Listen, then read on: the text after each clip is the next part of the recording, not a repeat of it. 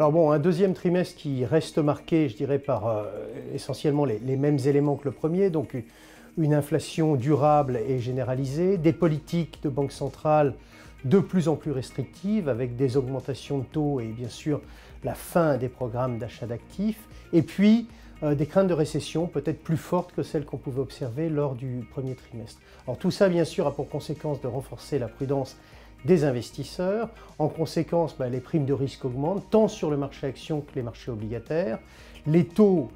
montent, les primes de risque sur le corporate sont en forte hausse. Et sur les marchés actions, bah, les indices sont en baisse plus marquée au deuxième trimestre qu'au premier trimestre. Alors à noter toutefois que le secteur des matières premières hors énergie, qui avait été la plus forte performance au premier trimestre, est parmi les plus fortes baisses au deuxième trimestre. Alors plusieurs constats. Euh, un trimestre qui reste difficile pour nos stratégies action-croissance, qui continue à être pénalisé par cet environnement de remontée de taux,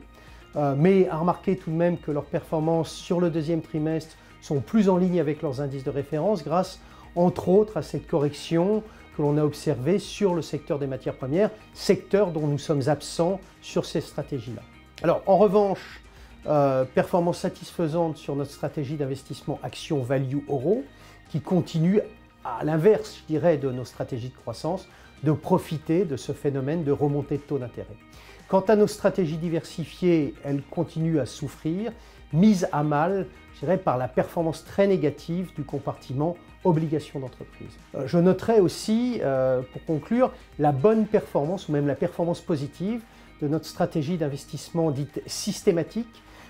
qui a une capacité finalement à être vendeuse sur un certain nombre de sous-jacents et qui donc, dans cet environnement-là, prouve à nouveau sa capacité à offrir une performance positive.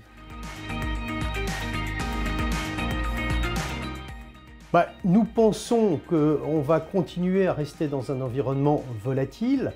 euh, qui sera, continuera à être impacté, je dirais, par d'une part l'inflation, euh, la fin du soutien des banques centrales et puis, euh, j'en ai parlé, le risque de récession. en conséquence, bah, nous resterons euh, prudents,